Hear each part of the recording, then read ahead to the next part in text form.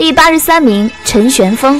东邪黄药师的二徒弟，和梅超风一起在桃花岛偷窃了九阴真经的下卷后，遁入江湖修炼。由于不懂真经的含义，所以他们的修炼出了问题，误以为需要以活人的头骨作为修炼的必要条件，于是滥杀无辜，从而导致被江湖正派人士联手追杀，后远赴大漠，号称童师。陈玄风不但修炼九阴白骨掌和摧心掌，且练就金钟罩，刀枪不入。可惜惨死于幼年郭靖之手，否则在发育十多年后，武功应远在妻子梅超风之上。